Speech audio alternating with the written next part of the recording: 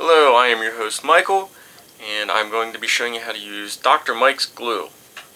The best glue I've ever worked with.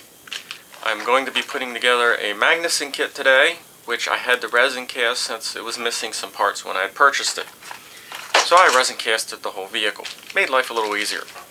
Uh, when you purchase Dr. Mike's, it comes in a little package like this, with a little push pin that helps you open it up. And I also recommend getting the Teflon tubing. It makes applying the glue a lot easier. Now, let's get started.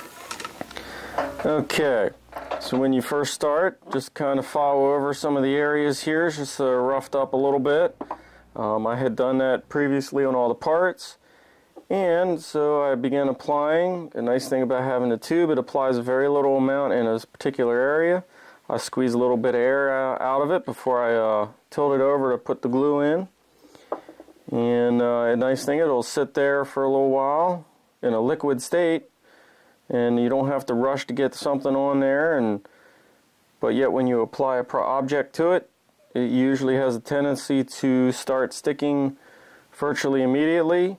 However I wouldn't sit down and fool with it too much. It's like any other adhesive where uh, you don't want to rush it but it won't hold there long enough and as it's setting up you can start applying some more uh, on some more areas here? So everything's roughed up here.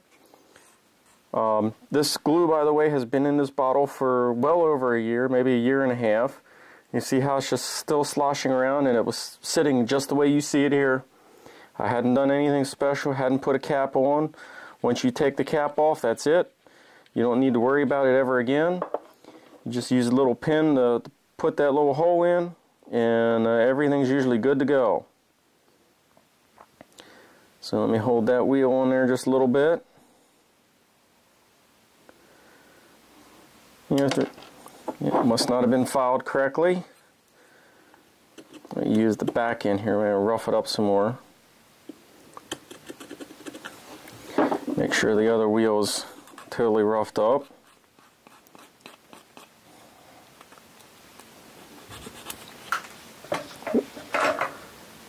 Found out it likes to fly.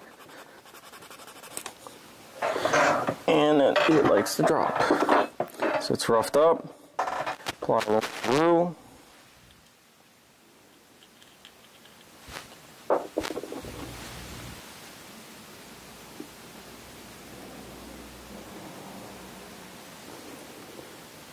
Just hold it there for a second. Now it's holding. Apply a little more glue here. Like that.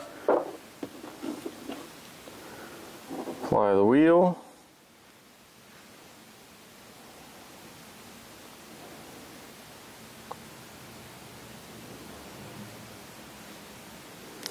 So it's on there good.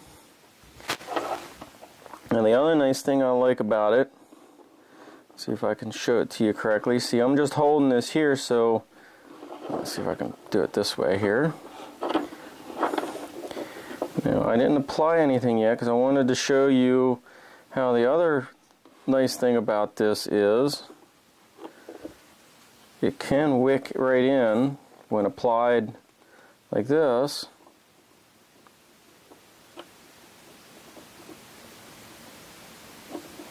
It does wick right in.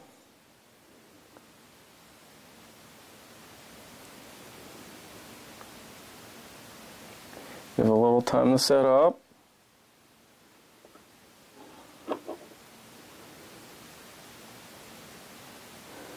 And it does wick. Oh, I gotta fix the tire. Interesting.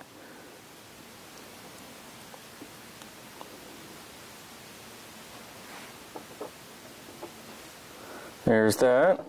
Now to also show you it bonds to multiple types of material, this is PVC tubing on a wire, which is going to be for my exhaust pipe, which will be applied just like this.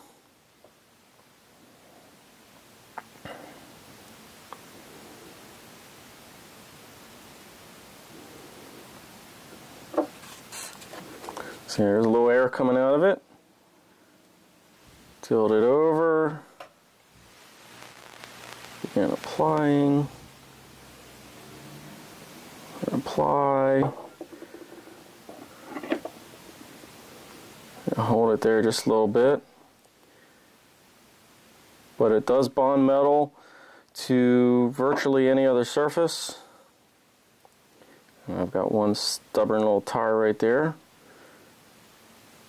You do have that occasional thing uh, sometimes, but if you're in no particular hurry, it does bond very well.